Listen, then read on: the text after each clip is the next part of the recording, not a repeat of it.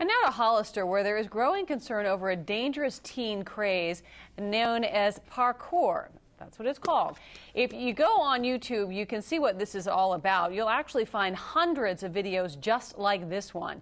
It's all about scaling walls, leaping between rooftops.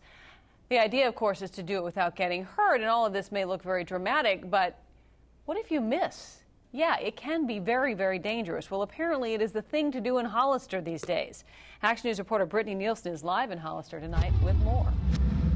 Aaron, that's exactly right. It's dangerous, and apparently it is the thing to do here in Hollister. Business owners here in the downtown area are having to deal with the aftermath of this parkour sport going on on the tops of their buildings. They're coming to work in the morning to find wires pulled out from the sides of their buildings, damage to pipes where climbers have used them to pull themselves up. Some buildings have even had arrows spray painted on them, and police think those are put up by daredevils mapping out their course. Now, Munzer's Sporting Goods store and the building that houses the Mars Hill Coffee Shop at San Benito and 6th Streets, where we are now, have been targets. And police are concerned with the trespassing and the vandalism, but also with the safety of these kids.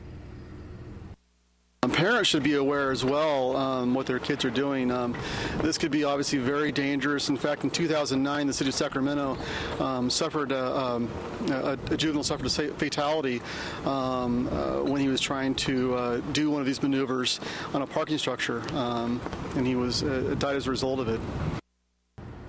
Now, no one has been caught doing this so far, but there have been several spottings by business owners of kids running across the tops of buildings.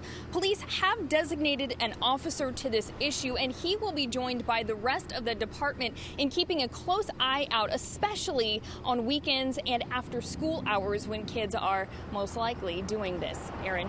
You would think, Brittany, that, that it would be fairly easy to catch them because part of all of this, of course, is videotaping it, right? I mean, they want to get get it on the internet. Exactly, it's a challenge. There may be only, you know, three or four friends here uh, watching this person actually jump from building to building or jump from the building to the ground, but they want that, uh, they want to put that on the internet. They want that uh, fame, if you will. So that is a big part of this, but tracking that down and who took that video and when it was and who's responsible really is a big job for police and, and one that uh, they're just getting started on here in Hollister. Aaron. Sounds easier than it is is. Um, all right. Thank, Absolutely. Thank you, Brittany. Parkour actually originated in France. It's been around for a while now, but started gaining momentum in this country back in 2007.